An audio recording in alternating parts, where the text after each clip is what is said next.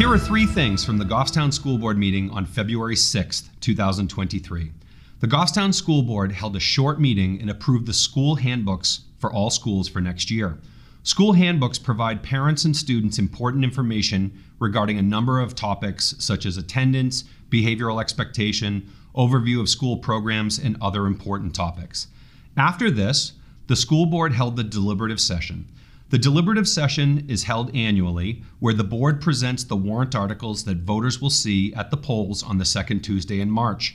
The board would like to thank everyone who attended the deliberative session to learn more about the warrant articles, including Article 2, which is the school budget, Article 3, which is the support staff contract, Article 4, which is a deposit into the Facilities Capital Reserve Fund, and Article 5, which involves closing an old Bartlett Capital Reserve Fund that is no longer needed and only has around $30 in it.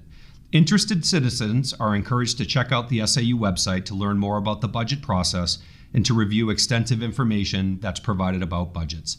And number three, at the deliberative session, the board announced the recipients of two awards that the board gives out every year. This year, the Cornerstone Award was given to Betsy Murdoch, who is the Goffstown School District Data Manager and Senator Lou D'Allesandro was honored by receiving the Dreamkeeper Award. The board would like to thank Senator D'Allesandro for serving the community of Goffstown for the last 24 years. Senator D'Allesandro will no longer be Goffstown's senator due to redistricting. So, congratulations to Betsy and to Senator Lou. We're grateful for your services to the students in SAU 19. And that's three things that you might have missed.